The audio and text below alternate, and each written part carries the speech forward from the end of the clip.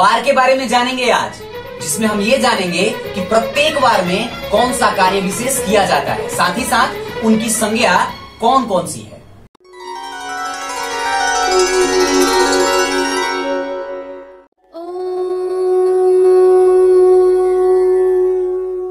पाद शेषम, पित्त शेषम, संध्या शेषम तथैव च। शूनो मूत्र समम तोयम पित्वा चंद्रायणम चरे प्रिय दर्शकों नमस्कार। कल हमारी बातचीत नक्षत्रों के वर्ग पे हुई थी और आज हम नक्षत्रों से थोड़ा नीचे उतरते हैं और वारों पे आते हैं। सप्ताह के सातों वार और उनकी संज्ञा के बारे में आज जानेंगे और उसको कैसे साधना है ये जानेंगे। प्रत्येक बार हमारे लिए शुभाशुभ नहीं होता है और प्रत्येक बार अशुभ भी नहीं होता है। न तो हमारे पक्ष में निर्णय देता है, और न हमारे विपक्ष में निर्णय ले जाता है।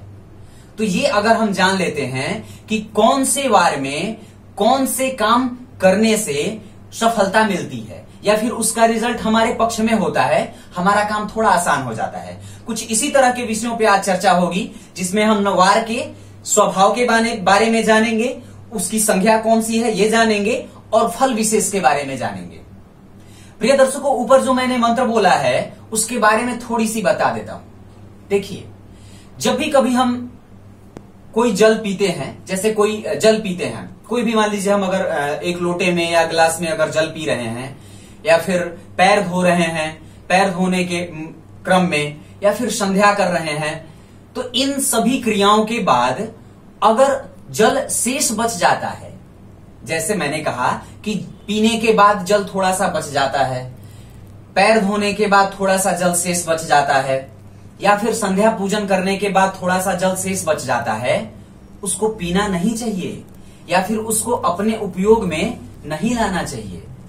वो जो जल हो जाता है, वो कुत्ते के मूत्र के समान हो जाता है, और फिर उसका उपभोग कर लेने पे व्यक्ति तभी शुद्ध होता है जब वो वापस चंद्रायण नामक कठिन व्रत करे। तो याद रखिएगा कि कभी भी जब आप जल पी रहे हो, जल से पैर धो रहे हो, संध्या करने के उपरांत अगर जल बच जाता है, उस जल का फिर इस्तेमाल ना करें। वो जल कुत्ते के मूत्र के समान हो जाता है और फिर हमें चंद्रायण व्रत करना पड़ता है, जो कि सबसे कठिन व्रत माना जाता है।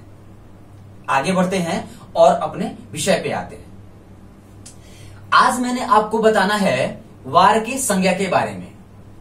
निश्चित रूप से अगर हम कहें तो हम नक्षत्रों पे ध्यान एक बार हमारा कम बार जाता है, या फिर न के बराबर जाता है। जो बहुत उस तरह के जो लोग हैं, जो पंचांग आदि पे बहुत ज़्यादा भरोसा करते हैं, या फिर किसी खास वर्ग विशेष से आते हैं, वही नक्षत्रों को देख करके अपना दैनिक कार्य साधते हैं, या फिर कार्य करने का वो जो है रूटीन तय करते हैं।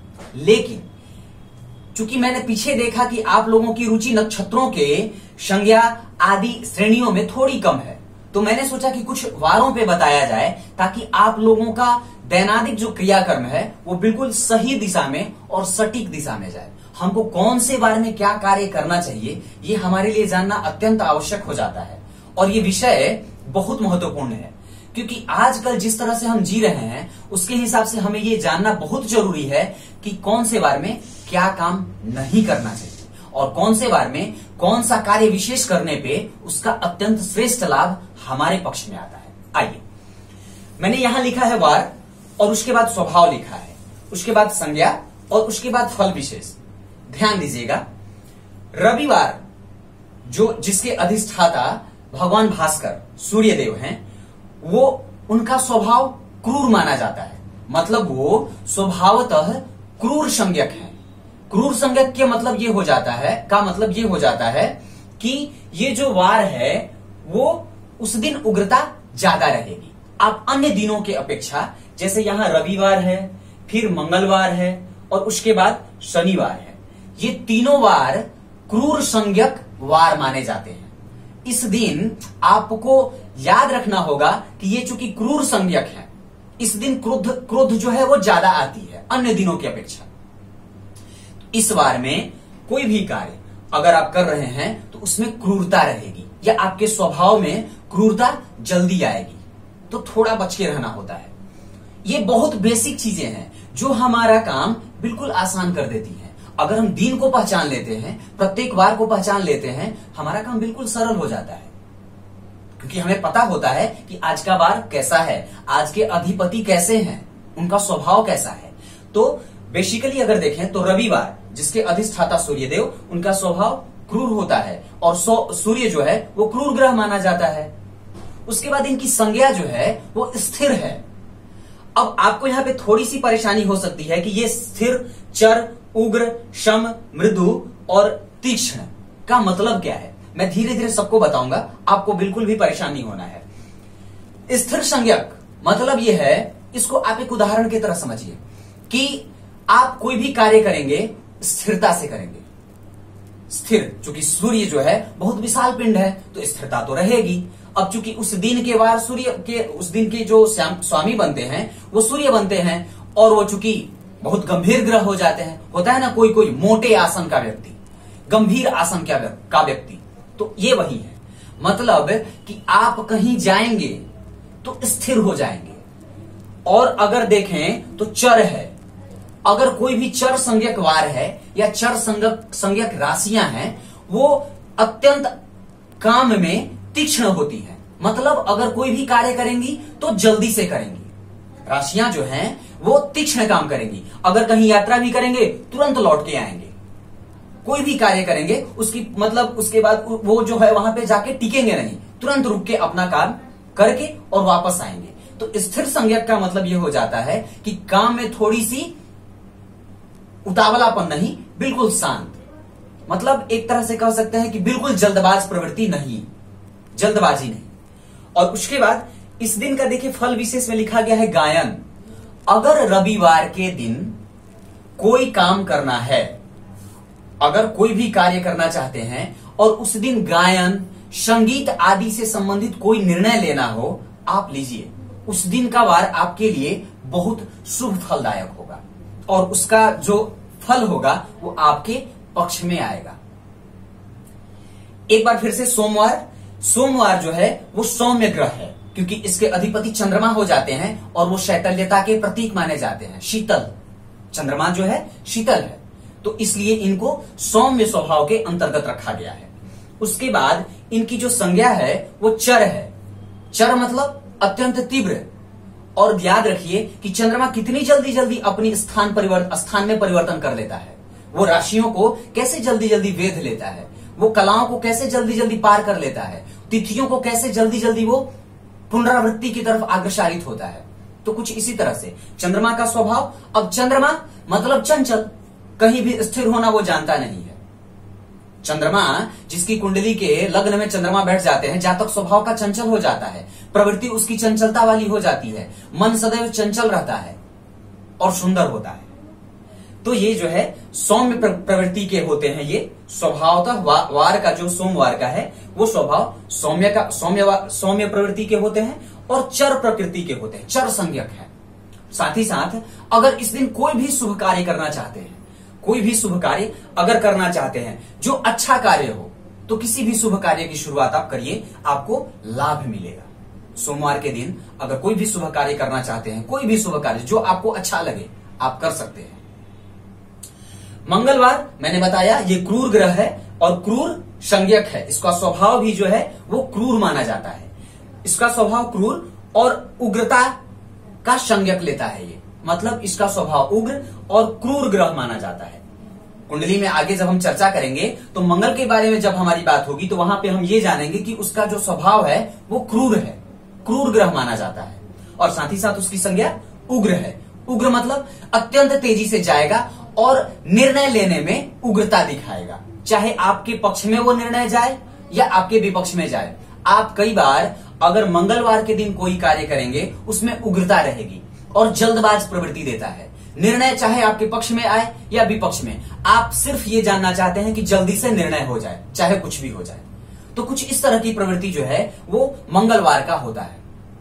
और उस दिन अगर कोई विशेष कार्य करना चाहते हैं तो जुआ, सट्टेबाजी, शेयर वगैरह, लॉटरी आदि में, म्यूचुअल फंड वगैरह में अगर कोई इन्वेस्टमेंट करना चाहते हैं तो आपके लिए मंगलवार का दिन बहुत श्रेष्ठ साबित होगा। मंगल की होरा में अगर कोई भी इस तरह का कार्य किया जाए, जहाँ से हमें पैसे दो रुपए लगाने हो और लाभ दस रुपए का मिलने वाला हो तो उस वार में अगर ये काम करेंगे, अत्यंत लाभकारी सिद्ध होता है। उसके बाद बारी आती है बुधवार की, जो कि सौम्य ग्रह है। बुध, सौम्य ग्रह। बिल्कुल अति संवेदनशील ग्रह माना जाता है बुध। बुध और चंद्रमा। बुध और चंद्रमा अति संवेदनशील ग्रह है, जिनका स्वभाव ऐसा होता है कि किसी भी शुभ ग्रह के प्रभाव में या पाप ग्रह के प्रभाव में जल्दी आ जाते हैं, सौम्य ग्रह है। मतलब इनकी, इनके जो नेचर होते हैं बाई नेचर ये बिल्कुल सीधे होते हैं, शांत, सरल और शीतल। साथ ही साथ इनकी संज्ञा जो है वो सम प्रकृति की होती है। न तो ये मतलब बहुत जल्दी उग्र होते हैं और ना जल्दी शांत होते हैं। मतलब ये बिल्कुल एक तरह से कह सकते हैं कि बिल्कुल ही मेंटेन मेंटेन करके चलने वाले लोग होते हैं, या फिर अगर इस दिन अगर आपका कोई भी कार्य होता है तो ये आपको देखने को मिलेगा कि सम प्रवृत्ति देख रहे हैं आप। मतलब आपके कार्य में ना तो विलंब होगा और न तेज होगी, मध्यम वर्ग का फल देने वाला होता है। साथ ही साथ अगर उस दिन व्यापार से संबंधित अगर कोई काम करना चाहते हैं, अवश्य करिए, ज़रूर लाभ होगा। बुद्ध चूँकि व्यापार का कारक होता है, व्यापार का ग्रह होता है, उसका द्योतक होता है तो अगर व्यापार से संबंधित कोई भी फैसला लेना चाहते हैं निश्चित रूप से लीजिए कोई दिक्कत नहीं है। आपका रिज़ल्ट आपके पक्ष में ही आएगा। बात करते हैं गुरु की, और गुरु भी सौम्य ग्रह ही माने जाते हैं। और अगर इनका स्वभाव देखा जाए, संज्ञा, स्वभाव तो मैंने देखा सौम्य ग्रह, और इनकी संज्ञा जो है, वो मृदु होती है। ये भी बहुत ही मीठे स्वभाव के होते हैं। बहुत ही शांत और मीठे स्वभाव के मतलब किसी को भी परेशान नहीं करना। और गुरुवार के दिन अगर हम कोई भी कार्य करें तो विद्या आरंभ अगर किसी की करानी हो, जैसे कोई घर में छोटा जातक हो, या अगर कोई बच्चा है हमारे यहाँ, और उसके एजुकेशन से संबंधित अगर कोई फैसले लेने हो, या फिर उसका विद्या आरंभ संस्कार करना हो, गुरुवार के दिन करिए। उस दिन और अगर ग्रह नक्षत्रों को देख करके अगर कुछ खास निर्णय लेना हो तो गुरुवार का दिन आपके लिए श्रेष्ठ साबित हो सकता है, और निश्चित हो सकता है, क्योंकि ज्ञान के कारक गुरु होते हैं। वो ज्ञान देने का कार्य करते हैं। आध्यात्मिक हो, चाहे कोई भी हो तो वो किसी भी तरह के अगर ज्ञान से संबंधित अगर कोई भी फैसले लेने हो, आप गुरुवार के दिन करिए, आपको अत्यंत श्रेष्ठ लाभ मिलेगा। उसके बाद बात, बारी आती है शुक्र की। शुक्र भी चूँकि सौम्य ग्रह होते हैं, और इनकी संज्ञा जो है वो मृदु है। दोनों ग्रह जो है, दोनों मतलब ग्रह, चाहे वो गुरु हो या शुक्र, दोनों का स्वभाव सौम्य होता है, और संज्ञा भी इनकी मृदु ही होती है। स्वभाव के मीठे और सरल होते हैं। वाद विवाद चूँकि शुक्र जो है वो विवादी ग्रह है। वाद विवाद कराता है। मतलब अगर किसी भी प्रतियोगिता वगैरह में जाना हो या कहीं आ, ये होता है जो आपको कहीं इंटरव्यू वगैरह में जाना हो अगर शुक्रवार का दिन आपको मिल रहा हो अत्यंत श्रेष्ठ होगा। अगर कहीं जा रहे हो और खुद से आपको वार का तय करने को बोल दिया जाए कि आप खुद से एक वार तय कर लीजिए तो शुक्रवार का अगर वार तय करते हैं आप वाद विवादी प्रतियोगिता के लिए आपके श्रेष्ठ फल के लिए ये बहुत अच्छा रहेगा। अगर चाहते हैं कि आपको मतलब संगोष्ठी वगैरह में भाग लेना है, वहाँ पे किसी तरह की अंताक्षरी वगैरह होने वाली है या फिर किसी भी तरह का डिबेट होने वाला है तो आपके लिए शुक्रवार का दिन बेहद लाभकारी सिद्ध होने वाला है। इसमें कोई संशय नहीं है। आप उस दिन अगर ये काम करते हैं, आपको लाभ मिलेगा। बात करते हैं शनि की। शनि चूँकि क्रूर ग्रह माने जाते हैं और इनकी संज्ञा जो है, वो तीक्ष्ण होती है। अत्यंत तीव्र। तीव्र मतलब तीक्ष्ण। और ये नियमों का पालन बहुत कड़ाई से कराते हैं। याद रखिएगा, हमारे विद्यालय में दो तरह के गुरु होते हैं। एक ऐसे गुरु जो बच्चों से प्रेम करना जानते हैं और बहुत कम ही बार बच्चों को पीटने का काम करते हैं। लेकिन एक गुरु ऐसे होते हैं जो डराते हैं और कई बार उनसे हर बच्चे, स्कूल का सारा बच्चा डरता है। तो कुछ इसी तरह की प्रवृत्ति लिए शनि महाराज होते हैं और इनकी प्रवृत्ति तीक्ष्ण होती है। अनुशासन प्रिय और अनुशासन का पालन कड़ाई से कराते हैं। अगर इस दिन आपको चिकित्सा से संबंधित कोई कार्य करना हो, जैसे अगर किसी बीमारी के चपेट में हैं आप और चिकित्सा शुरू करना चाहते हैं, किसी डॉक्टर से मिलना चाहते हैं, चिकित्सा से संबंधित कार्य अगर करना हो तो शनिवार का दिन आपके लिए सबसे बेहतर साबित हो सकता है। आजमा के देखिए। और ये चीज़ आप अगर करेंगे तो निश्चित रूप से आपको लाभ अवश्य प्राप्त होगा, क्योंकि ये कहीं ना कहीं ग्रहों के प्रवृत्ति के अनुकूल ही फल देने वाले हैं। आप देखिए, रवि, सूर्य क्रूर ग्रह होता है, चंद्रमा सौम्य ग्रह होता है, मंगल भी क्रूर ग्रह की श्रेणी में आता है बुद्ध भी सौम्य ग्रह की श्रेणी में आता है, गुरु भी सौम्य ग्रह की श्रेणी में ही आते हैं, शुक्र भी सौम्य ग्रह की श्रेणी में ही आते हैं और शनि क्रूर संज्ञक ग्रह है। मतलब हम अगर ये जान लेते हैं कि कौन सा वार हमारे पक्ष में रहने वाला है, हमारा काम आसान हो जाता है। या यदि हम कहीं यात्रा करने जा रहे हो, किसी विशेष निर्णय के लिए हमारे पास कोई इंतज़ार कर रहा हो हमारा तो अगर इन चक्करों के, इस चक्र को अगर हम देख लेते हैं तो हम किसी भी खास दुर्गति में नहीं फंसेंगे। हमारी, हमारे द्वारा जो भी निर्णय लिए जाएँगे, वो बिल्कुल सही और सटीक साबित होंगे। आशा है आपको ये कार्यक्रम अच्छा लगेगा। और आशा ये भी रखते हैं कि आप इसका लाभ ज़रूर उतारने का प्रयास करेंगे अपने जीवन में। कुछ इसी तरह से आज के कार्यक्रम का अंत करते हैं। और कल किसी और अन्य विषय के साथ, जो बिल्कुल अलग होगा, आपके सामने प्रस्तुत करके और प्रस्तुत होंगे उसे लेकर के। तब तक के लिए इजाज़त दीजिए। नमस्कार।